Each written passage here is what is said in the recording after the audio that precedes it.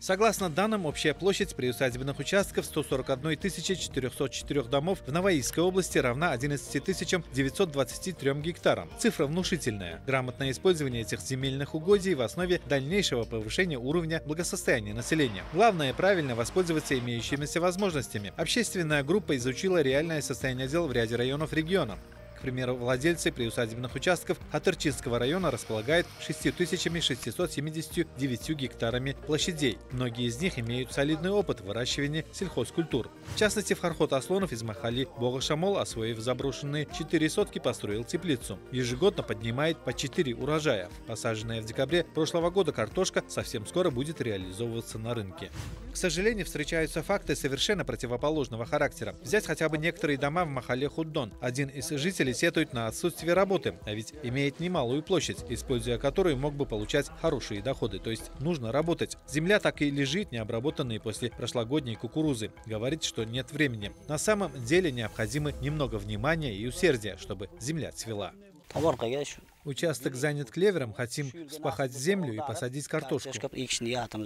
Следующий адрес – Махалинский сход граждан Уйрод Карманинского района. Здесь не только из года в год повышают урожайность различных агрокультур, но и развивают другие направления.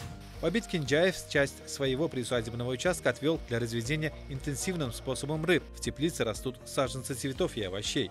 А Эльмурод Кинджаев специализируется на саженцах фруктовых и декоративных деревьев, пользующихся большим спросом на рынке. Также растут цитрусовые цветы. В прошлом году участок принес 50 миллионов суммов дохода qo'shimcha daromadlarda mana u tomonda bir yarim so'ta keyin Добавили дополнительно полторы сотки. И еще на шести сотках организовали теплицу. Выращиваем лимоны, мандарины, бананы. Цитрусовые уже дали первые плоды. От реализации саженцев получаем хорошие доходы. Немало знающих толк в земледелии соотечественников и в селении Джалоир. Махсуд Нуримов из Махали Арабхона вот уже седьмой год получает хорошую прибыль, выращивая в теплице томаты, огурцы. Не менее эффективно использует свой участок и Райбулла Саидов, который старается внедрять в практику самые передовые методы. Несколько лет занимаемся выращиванием агрокультур, животноводством, птицеводством. Приобрели три новых автомобиля. Смогли купить дом. Еще один построить. Троих дочерей выдали замуж, женили сына. Все хорошо, благодаря прибыли, которую дает труд на земле. На своем собственном опыте знаю, что можно два раза в год посадить редиску и огурцы. Получить тем самым четыре урожая. Земля не пустует, поэтому удобряем ее постоянно. Сен ерді бақсаң, ер сені бақады.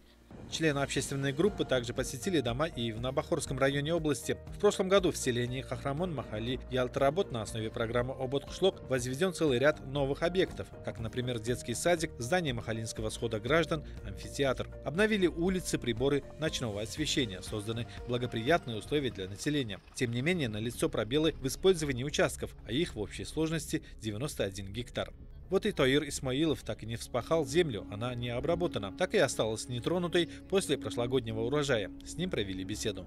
Дом Наргизы Хамидовой, у которой трое детей, недавно при содействии руководителя третьего сектора был отремонтирован. Семью, потерявшую кормильца, часто навещают активисты Махали, односельчане. Но плодородная земля так и не используется, мягко говоря, с максимальной пользой. Ей дали необходимые рекомендации в этом отношении.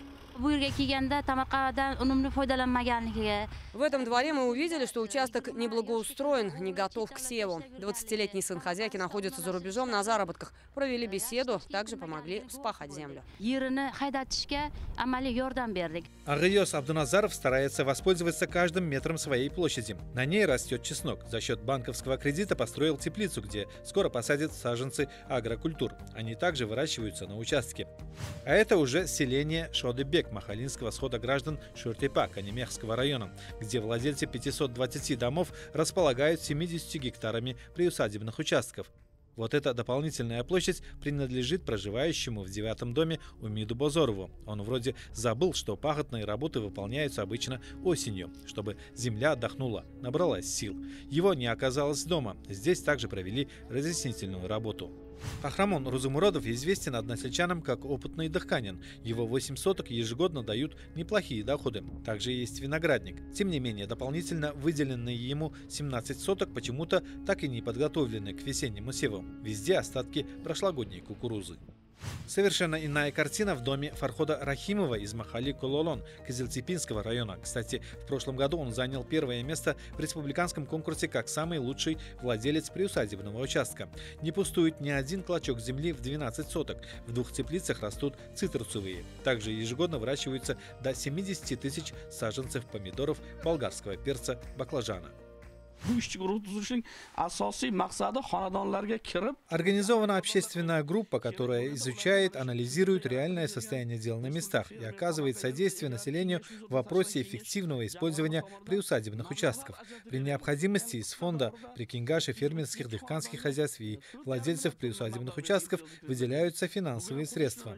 В частности, в прошлом году в 232 дома было направлено льготных кредитов на 4,5 миллиарда суммов нуждающимся в поддержке доставляются семена, саженцы агрокультур. Например, в Карманинском районе руководители местной администрации, организаций и предприятий каждое утро обходят 10-12 домов, оказывают содействие в решении имеющихся проблем. Принято обращение областного хакима, которое доводится до населения. А кто впредь будет оставлять землю пустующей, то налог на нее возрастет в три раза. В этом плане мы проводим разъяснительную работу.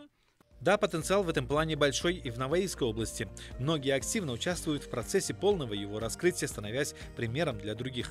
Распространение их опыта, внедрение самых передовых методов на практике посредством расширения разъяснительных работ среди населения. На это и направлены усилия общественных групп, деятельность которых только расширяется.